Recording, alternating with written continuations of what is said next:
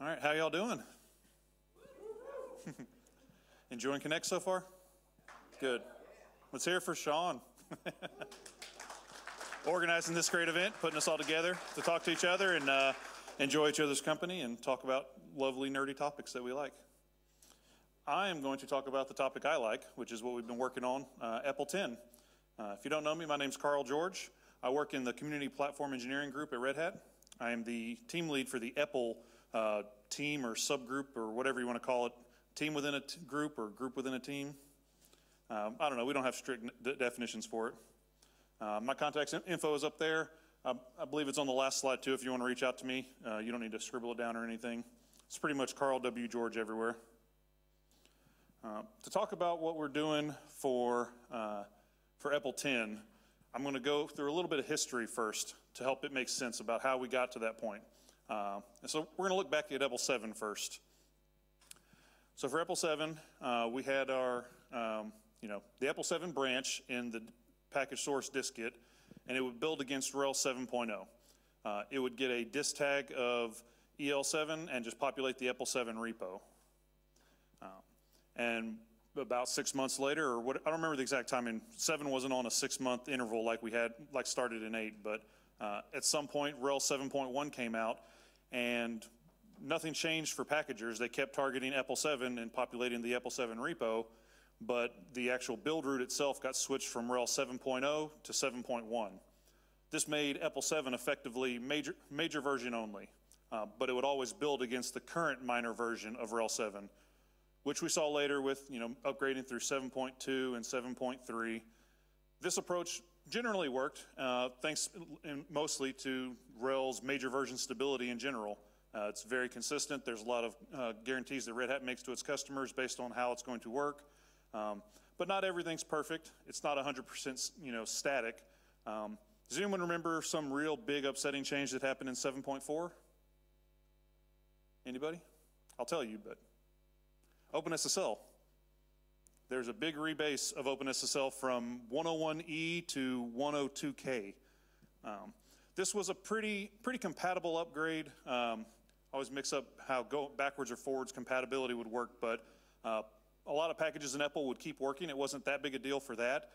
But any package that was rebuilt after RHEL 7.4 was released would no longer work on 7.3 or 7.2 or anything earlier because there were new symbols that were provided by the OpenSSL libraries. And so um, at the time, CentOS project focused on being a rebuild. And so right when RHEL 7.4 came out, CentOS 7 still had 7.3 content in it. So that meant that any EPEL packages that got rebuilt would start being uninstallable on CentOS 7. Uh, and that took about six weeks or so to catch up. I went back and looked at the release dates. Uh, so that was a little short, painful period where uh, you know, if a maintainer was aware of that OpenSSL change, they could just delay doing the rebuild. Um, but if they did the did the rebuild and then published it, then it was just like, okay, well, this will. Uh, there's not really a way to undo this, so just it'll resolve itself eventually when CentOS catches up. Not really a great answer, but a short enough time period that people kind of yeah fudge it and look away. No, nothing to see here. And then we'll keep going through 7.5 and 7.6, uh, on through the history of uh, the RHEL 7 releases. Does anyone remember what, what big upsetting change happened in RHEL 7.8? Anyone ever heard of ImageMagick? yes, yes, that one. Uh, so that release has a really long version string, but basically from 6.7 to 6.9 in that release. Uh, and that was a, quite a bit more disruptive. It didn't have as good of uh, uh backward, you know, transitive compatibility as OpenSSL did. So uh, on that day, uh, there were EPEL packages that stopped working on RHEL once RHEL 7.8 came out. Um, things that linked against the older OpenSSL sim- or sorry, ImageMagick symbol. Um, and in, if packagers went ahead and fixed those problems and did the rebuild, then the package would have the same problem as before, where it would stop working for uh, for CentOS users that when they hadn't caught up. That that release I think took four weeks for for the catch up. So a little another narrow window wasn't too long where things were inconsistent and not ideal.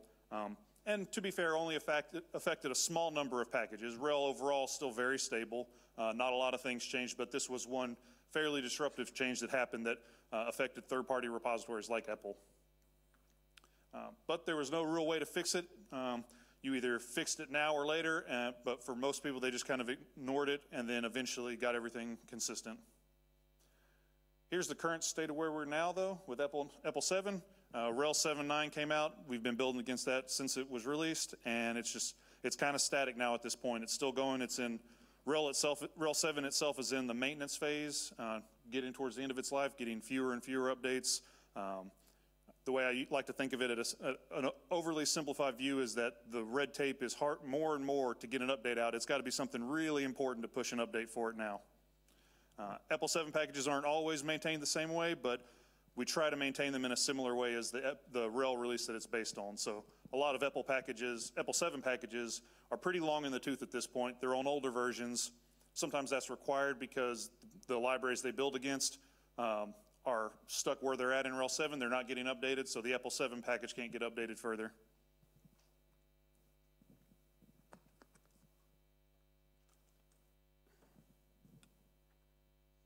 All right, now on to EPEL 8. It started the same way as EPEL 7 for the most part. Uh, we had an EPEL 8 branch built against RHEL 8.0. Um, I didn't really touch on uh, the dist tag. Uh, that's part of the release field in the package, and that was just .el8 and the EPEL 8 repo. Uh, but something else notable happened around this time. This was whenever CentOS Stream 8 was launched. Uh, and at the time, we didn't really anticipate that, okay, well, we'll need, you know, to do anything different in EPEL, but as time went forward, we started noticing a few things. Um, we treated it the same way. We changed it from 8, RHEL 8.0 to 8.1 when the time came.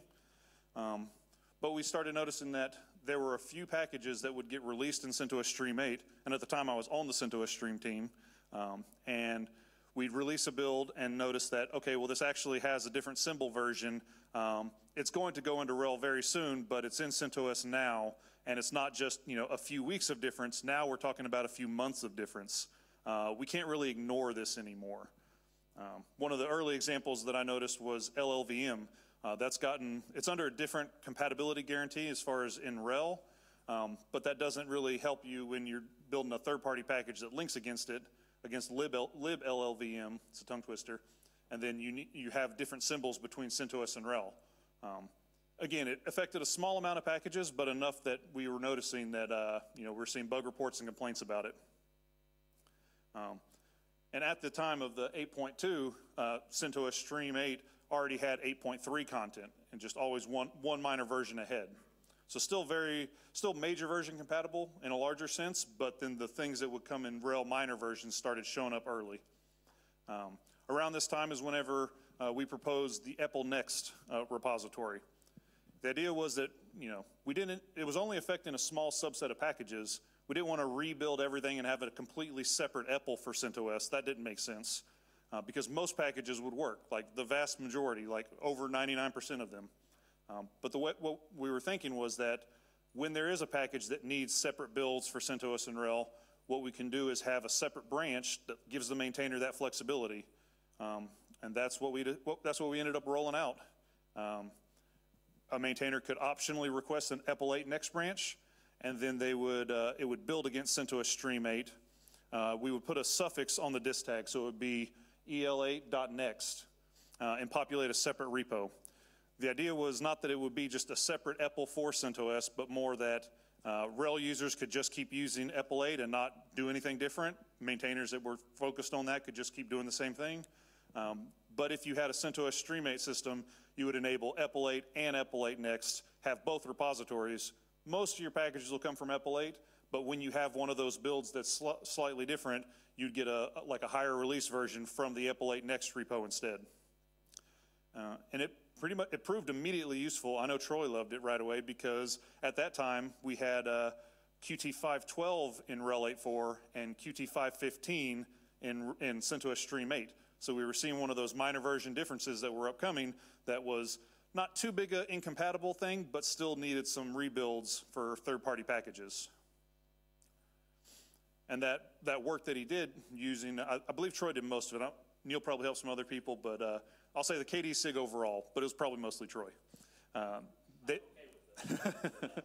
they did a lot of this work to make sure that all the, the uh, KDE stack worked in, uh, in CentOS Stream 8 via EPEL 8 Next, and then that work was immediately um, reproducible on uh, in, in main EPEL when RHEL 8.5 came out. Um, kind of proving through what the whole grand scheme that we're looking for with this, that the things you see in CentOS Stream 8 are a preview of the very near future of RHEL itself. Um, I say re reproducible because unfortunately at the time, what we didn't think about was that there was no way to inherit the builds between the two. We couldn't just tag the EPEL 8 next builds into EPEL 8. Um, the builds had to be done again for the different build target. Um, but because it had been done once, it was like, all right, I know the steps, I know what I need to go through, I know which packages don't work correctly, uh, and I, I, like to think it helped a little bit. So it definitely gave uh, users packages that would install, which was what I was focused on. I wanted it to work. Uh, and for the most part, it did. Uh, we kept going forward uh, through 8.6, uh, 8.7. we saw more rebases of LLVM. That I think that's gotten a rebase in like every single minor version of RHEL 8. Um, Qt had another small rebase, not as big as 512 to 515. I think it was 515.2 to 515.3. Um, some KDE stuff uh, links against private symbols that are annoying and you have to rebuild it no matter what the version change is. Uh, but yeah, EPEL Next continued to be useful and come in handy uh, as we move through, move through time and minor releases of RHEL. Here's the current state we're at now, uh, RHEL 8.9, and looking back on it, EPEL Next, it did solve the basic problem. It allowed packagers to target RHEL and CentOS Stream simultaneously uh, when it was appropriate. And we implemented it as kind of a bolted on solution and it didn't disturb any of the existing EPEL workflows. If you haven't heard of EPEL Next before today, or you at the time or in the past, you could have just kept updating your EPEL package and ignored it and not known about it. And if you didn't have a package affected by one of those uh, differing libraries in RHEL, then you didn't need to know about it. So it was successful from that point of view. We wanted it to be kind of non-disruptive and just there for the people that needed it. And then here very soon, uh, we'll have a RHEL 8.10 release. Um, as Troy mentioned, it's in uh, May, I think, a couple months.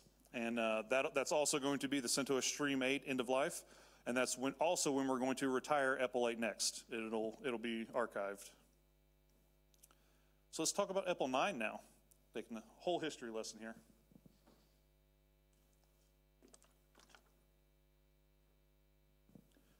We did things a little different with EPEL 9.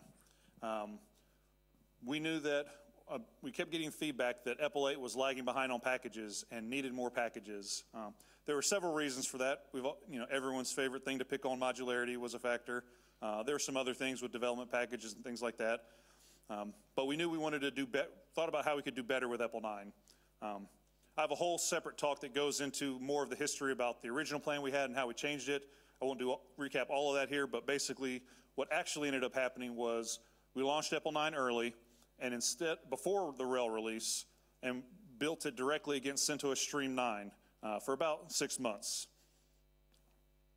And this gave maintainers a lot of time to get their packages done early. Um, and everything I've heard from maintainers, they've appreciated that. It worked out. And that let us, at the RHEL 9.0 launch, have 2,000 something packages. I forget the exact number, 2,400? I think it was in your talk. So we had a lot of packages at the RHEL 9 launch, more than we've ever done before, uh, which was zero basically. I think EPEL 7 actually had a couple because they did a, a like an EPEL 7 beta built against the RHEL 7 beta thing that like a few people knew about and built things, but not a lot.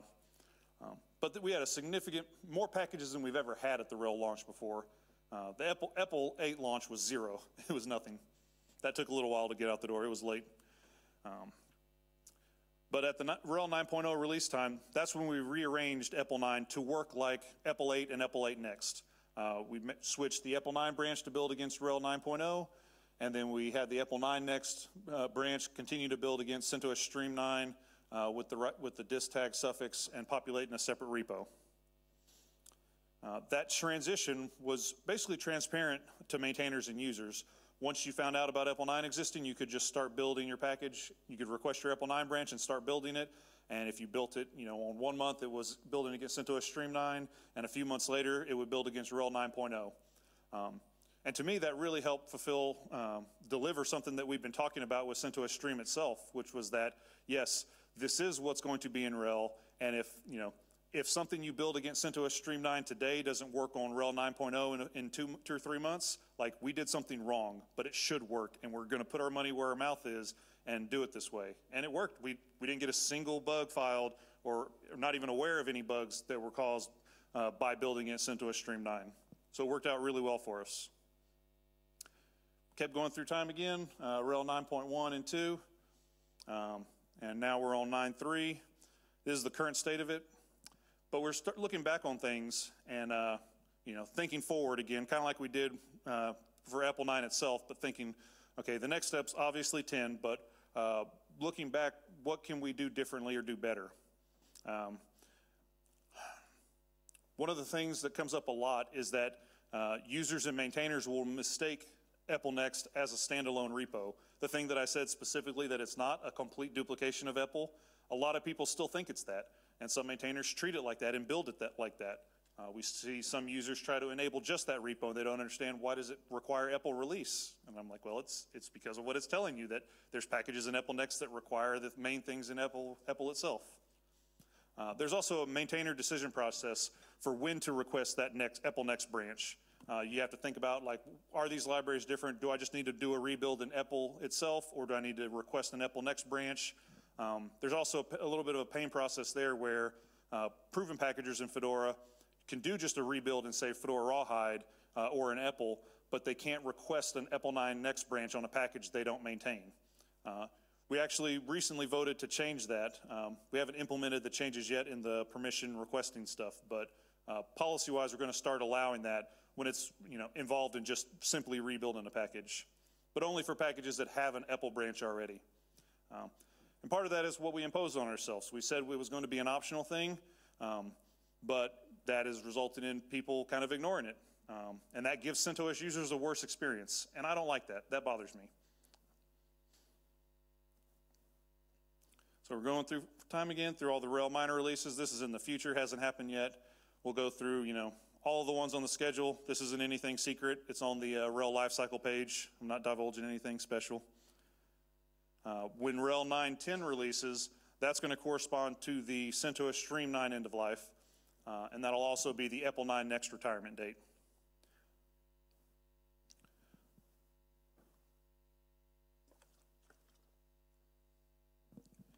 So for thinking about EPEL 10, um, I kind of drew inspiration from Fedora and started looking at that and thinking about, uh, you know, EPEL is part of the Fedora project, uh, and we have, you know, our EPEL maintainers are Fedora maintainers uh, what can we do that would be intuitive to a Fedora maintainer? So in, in a similar way we've been looking at the, pre, the EPEL branches, here's what the uh, Fedora branches look like. Uh, this is the current state right now for a short time until the F40 branching happens. happens. F38 and 39 are our current branches corresponding to the current releases uh, with the corresponding dist tags and repos. And Fedora Rawhide already has the dist tag for 40. Um, so the raw, Rawhide is reflecting the next major version release content. Does that sound familiar, like CentOS Stream reflecting the next minor version content? Foreshadowing. uh, so here very, very soon, uh, they already did the mass rebuild, uh, RelEng. I think there's some of the Fedora, RelEng folks around. Um, the mass rebuild's done. The branches are going to get added pretty soon, any day now or any week now. And uh, then a little while after that, Fedora 40 itself will be released and uh, Fedora 38 will get uh, end of life. But also, uh, Rawhide will move on from FC40 to FC41. Uh, again, reflecting the content that's going to be in Fedora 41. Uh, a lot of maintainers can just focus on that leading branch and then make, make changes in the older branches when it's necessary or when it's appropriate, or both. Um, and builds that are done in that leading branch, what's really cool is that they just get inherited in the next release. You can just maintain your package in Rawhide, and if you don't get bug reports for the stable Fedora releases, just leave them because they're good. That's kind of, if you look at the Fedora updates policy, that's kind of what it aims for, is that um, updates in the stable releases should be when necessary, not just because there's a higher number.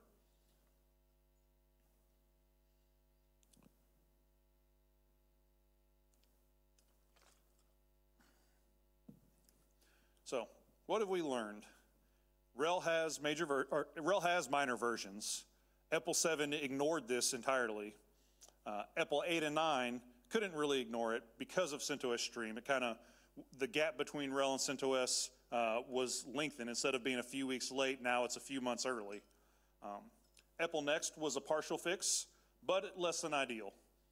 And so uh, the EPEL Steering Committee, what we looked at was that uh, really the best way to fix this is to just embrace the fact that RHEL has minor versions and implement minor versions in EPEL itself.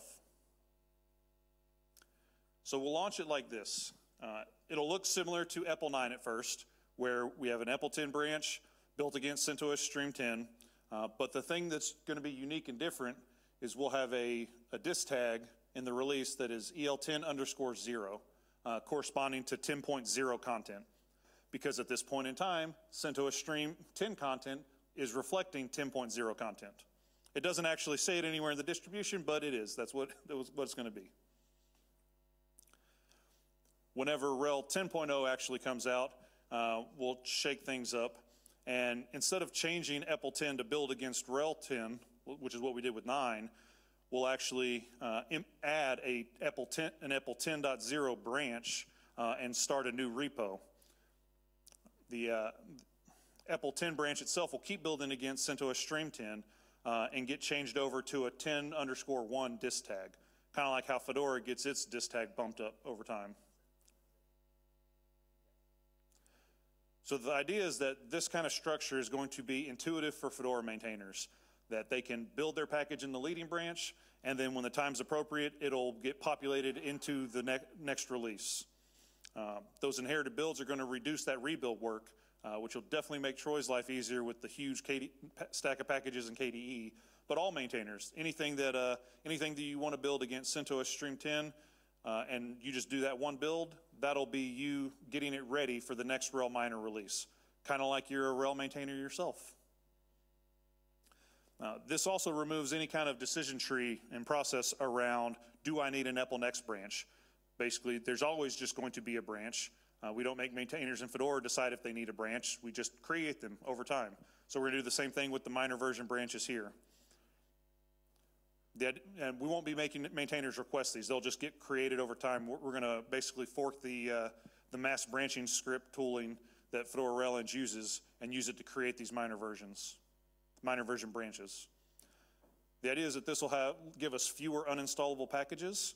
Um, it'll also give us a few other things as kind of a neat side effect. Right now, our archive repos for EPEL are, uh, they're hit or miss. We make them occasionally. Um, we miss it sometimes but there's not really a guarantee that what you see in the archive, you know, symlinked as EPEL, you know, 9.1 is 100% content built against 9.1. It's kind of a best effort thing that RelEng does for us, and people sometimes forget to file the ticket to ask them to do it, and it's not great. This setup here uh, will basically ensure consistent archives. Uh, everything that populates that, you know, 10.0 repo um, will always will have been built against 10, RHEL 10.0 content even, even if we forget to uh, copy it over, we'll just have that directory there and it'll be effectively an archive at that point once the version moves on and moves forward. It'll also give us per minor version retirement. Uh, we've seen a little bit of a problem in EPEL where if a package is added, now because we see it in CentOS first, we see you know a package added to CentOS Stream 9, and we know, okay, this is getting added to RHEL, you know, say 9.4, the next one.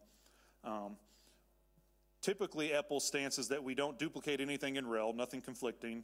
So you would think, okay, well, it needs to be retired from EPEL, but when would you retire that? Do you retire it when it's added to CentOS Stream 9, or do you wait until it's in RHEL 9? If you retire it with, in line with CentOS, then the RHEL, RHEL users don't have it in EPEL for a little while.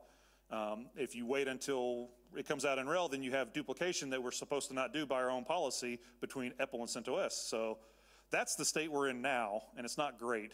Um, but we're kind of looking over it, overlooking it now, you know, because it's a short-term thing.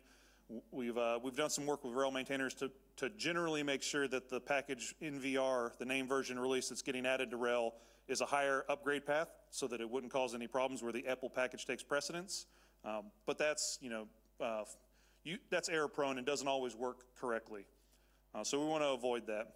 The, this, this structure here means that we could actually retire the EPEL package in the leading branch and leave it in the older minor version branches. So the package would be gone for, eh, from EPEL for CentOS users, but RHEL users would still get it from EPEL until their next minor version. This will just keep going on through time, through the minor versions. I have a slide for each of these, but I don't actually have something to say for everything. This is all in the future anyways, long in the future. This will be interesting. Uh, you know, assuming that RHEL ha, RHEL 10 has the same minor version cadence that nine, 8 and 9 have with uh, 10, or I guess 11 minor versions counting dot zero. RHEL 10.10 will come out. That'll be, also be the end of life date for CentOS Stream 10. Uh, and at that point, well, we could actually switch the EPEL 10 repo to just build against RHEL 10.10, um, and then have that going forward for the last five years of its life cycle.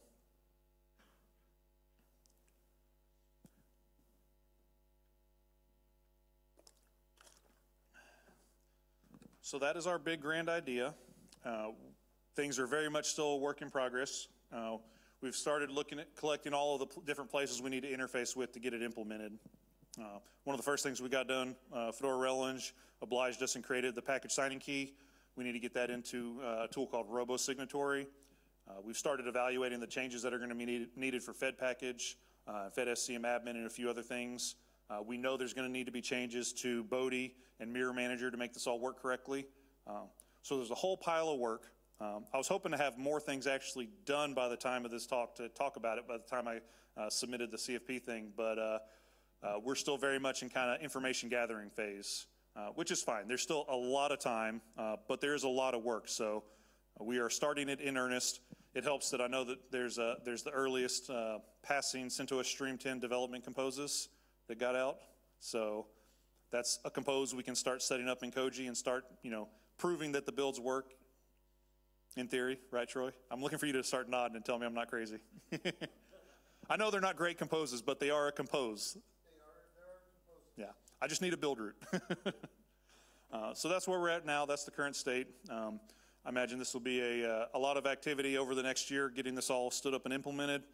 Um, my goal is that we'll at least get, have everything up and ready, uh, a similar timing to EPEL 9, uh, which actually aligns pretty well with uh, the state of CentOS Stream 10 at that time. Is that about six months before the RHEL 10.0 release? I think the CentOS Stream 10, 10 content should be in a pretty good place that you know you could build against it and reasonably expect it to work six months later. Um, we're not really pushing hard to make it available much sooner than that.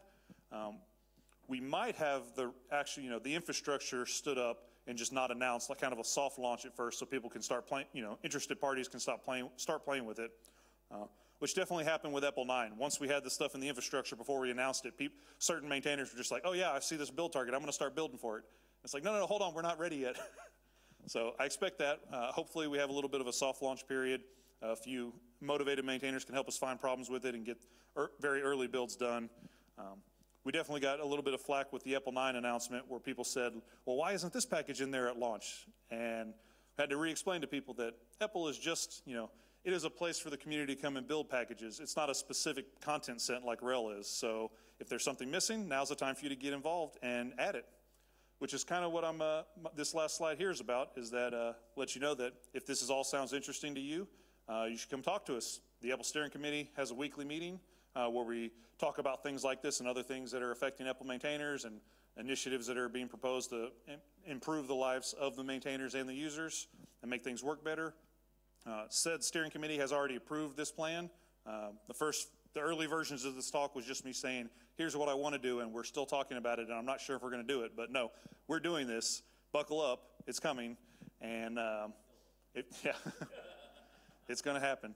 Uh, But yeah, come by the meetings. Uh, We're also in, uh, in the EPEL Matrix channel on the Fedora, Fedora Project server, and uh, come talk to us, and uh, come talk to us here at the conference in person. Now's a great opportunity to ask questions uh, in this Q and A or directly afterwards, um, and find out ways you can get involved and help. And I think that's everything I got. Any questions?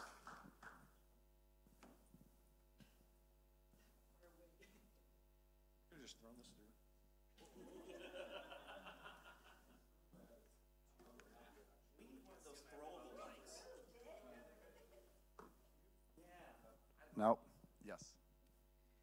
So first of all, I really like the 10 schema. I think it makes so much sense. So it really makes it easy for me. And Let me know if you want a specific slide up during your question. no, uh, the, the thing is, like I'm an EPEL maintainer. I have one package in EPEL, which is a game server, in which we actually run for Fedora on, Minetest. on CentOS Stream 9. Yeah, we run Minetest. But the thing is, like, uh, I, ju- I just wanted to confirm my understanding as a community member far away from like RHEL maintain, maintaining RHEL packages. So I'm a community member. My interest is only having like LTS community in distribution in community package, which I did. So from that system which you proposed, it seems that I can simply forget about RHEL minor releases, RHEL branches, and whatever. Do nothing. Focus on my stream package and like play with it. And you don't have any expectation for me to maintain the uh, like 10.2 branch of my package for for five years. If someone Yes. uh, appears and asks like, "Oh, I, I use it on RHEL 10.2, and you have a bug," and I will say like, "Thank you for using it. Now maintain your branch," and that's that's the only expectation, right? Yes, 100%. And to me, lot, that mirrors a lot of the way things work in Fedora itself, where a maintainer can focus on Rawhide, do their builds, and ignore what ends up populated in the Fedora stable releases. Not completely ignore, but you know, not focus on until they like get a bug report. Hey, this doesn't work on Fedora 39, and then either the maintainer does care about it at that point, figures out the problem, or adds them adds that person as a co-maintainer to look at that branch and get it working. Absolutely, yeah. It kind of flips the, the EPEL Next model on its head. Instead of EPEL Next being the optional thing, the older branches are the optional thing. You got it. Thanks. Great talk. Uh, do you want to follow up? Uh, Oh, sorry, I didn't see you with the mic back there.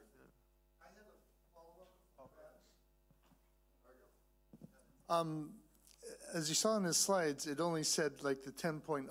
Go back a couple slides. Here, I'll come up here. Um, So there will not, it, oh, it disappeared.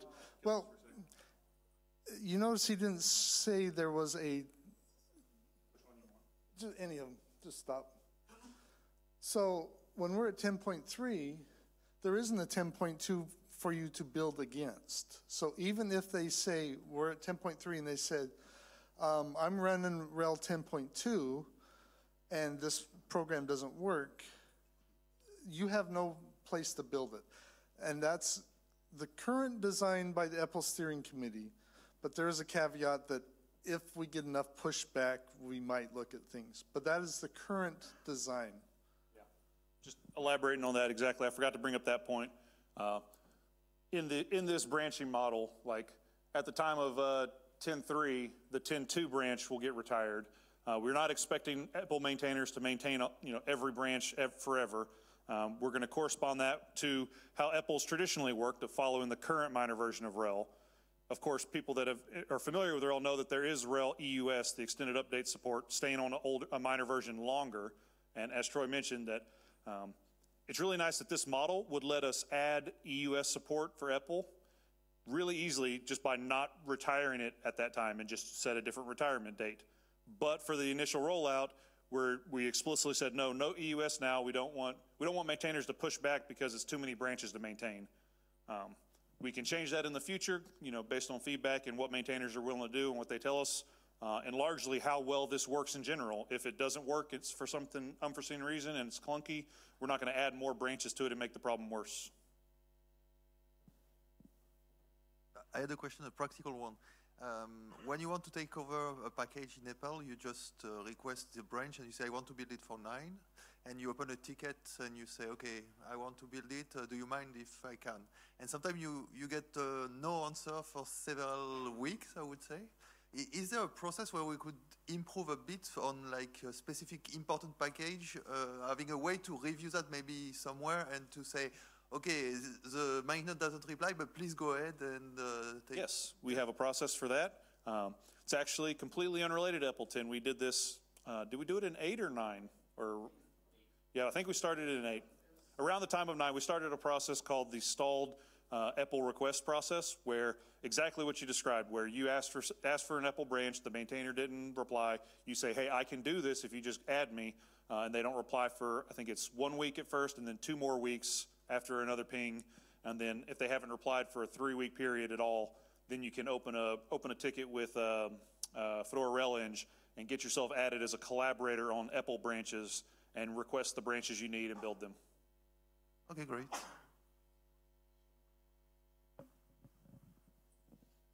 Anyone else? All easy questions, yes. Oh, no. I love Neil. I, I like giving him a hard time too, though.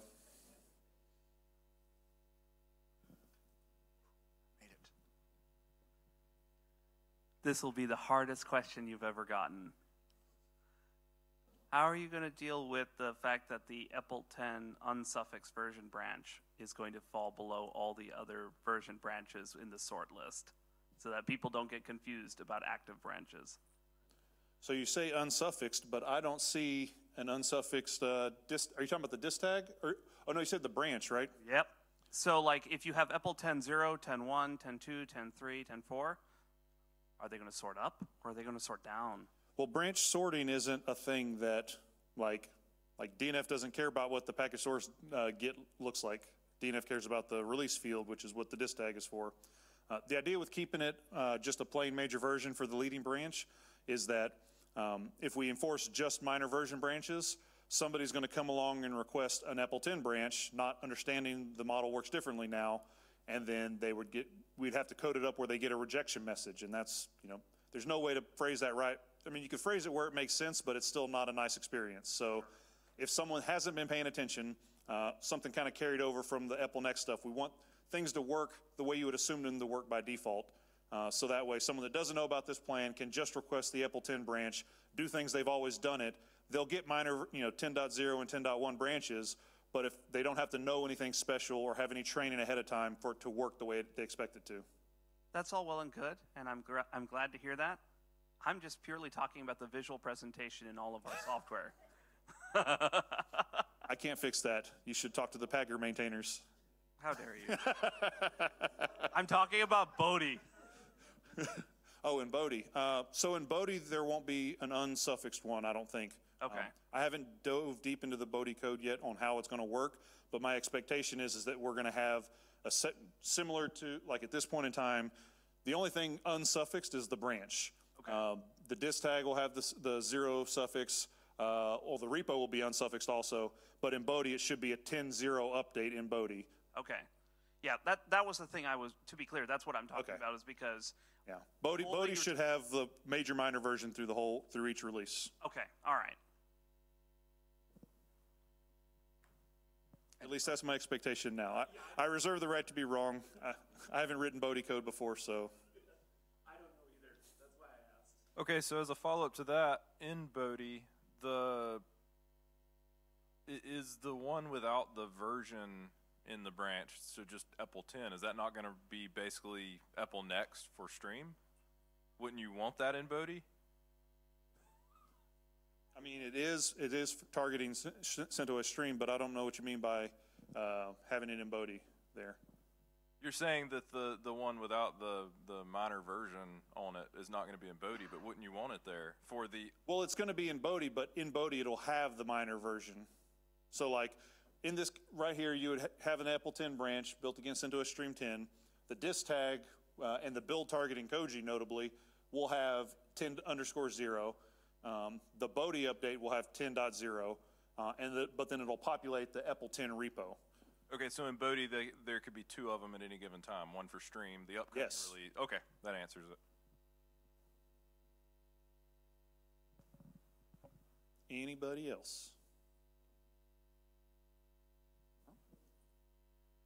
I feel like I've gone over time, so I'm glad Troy finished early.